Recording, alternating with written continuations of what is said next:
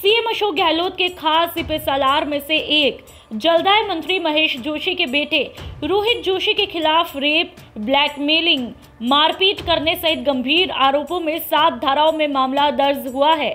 ये मामला दिल्ली के सदर बाज़ार पुलिस थाने में 338 नंबर के एफआईआर में, तीन सौ छिहत्तर, तीन सौ सतहत्तर, तीन सौ छियासठ, तीन सौ बारह, पाँच सौ छः पाँच सौ नौ के तहत मुकदमा दर्ज हुआ है।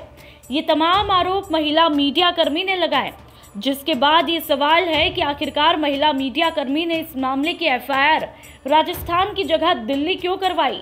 जिसके बाद जयपुर के एक अखबार में दिए इंटरव्यू के मुताबिक, रेप पीड़िता का क्या कुछ आरोप है, वो भी आपको बताते हैं। दुष्कर्म का आरोप लगाते हुए दिल्ली में एफआईआर दर्ज करवाने वाली पीड़िता का आरोप है कि जयपुर पुलिस कमिश्नरेट के अधिकारियों ने जोशी के दबाव में उसकी एफआईआर दर्ज ही नहीं की।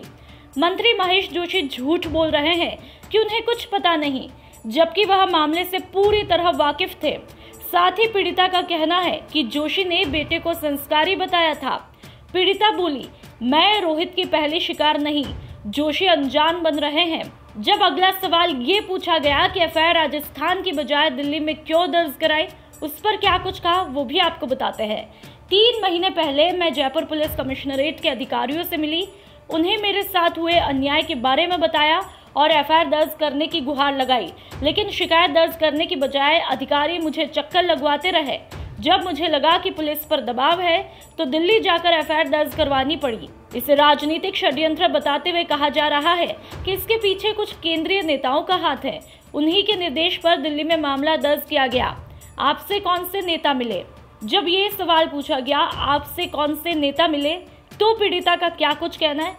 सुनिए, न तो मुझसे किसी नेता ने संपर्क किया और न ही किसी केंद्रीय नेता के कहने से मैं दिल्ली गई। हाँ दिल्ली में आम आदमी पार्टी के विधायक और दिल्ली महिला आयोग के अध्यक्ष से मिलकर मैंने अपनी पीड़ा ज़रूर बताई थी। तीसरा सवाल, मंत्री महेश जोशी का कहना है कि उनका बेटा संस्कारी है, वह दुष्कर्म नहीं कर सकता। इस पर पीड़िता ने क्या कुछ कहा? सुनिए, मैं पहली लड़की नहीं हूँ जिसके साथ रोहित ने ऐसा किया। महेश जोशी को बेटे की करतूतों के बारे में सब पता है। वह जानबूझकर अनजान बन रहे हैं। संस्कारी बताकर वह बेटे को बचा नहीं सकते। महेश जोशी ने तो दो टीवी चैनलों में मेरी नौकरी लगवाने तक की सिफारिश की थी। जब अगला सवाल ये पूछा गया कि कहा जा रहा है कि आप ब्लैकमेल कर रही हैं तो क्या कुछ कहा पीड़िता ने? वो भी बताते हैं। रोहित ने अपनी पत्नी को तलाक देकर मुझसे शादी करने का वादा किया। और शोषण करता रहा। एक बार उसने मुझे फैमिली कोर्ट से वीडियो कॉल कर तलाक के पेपर भी दिखाए थे। मैंने इसके अलावा उससे कुछ भी नहीं चाहा। चुप रहने के लिए मुझे प्रलोभन दिया गया। ऐसा होता तो मैं पुलिस के पास शिकायत क्यों लेकर जाती? आपने पुलिस सुरक्षा की गुहार लगाई, क्या किसी ने धमकी दी? जब यही सवाल किया गया तो पीड़िता ने ये कहा कि भवरी बनाने की धमकी दी गई। मैंने सुरक्षा मांगते हुए सीएम राज्यपाल, पुलिस कमिश्नर को मेल किया है। राहुल गांधी के निजी सचिव से भी गुहार लगाई है।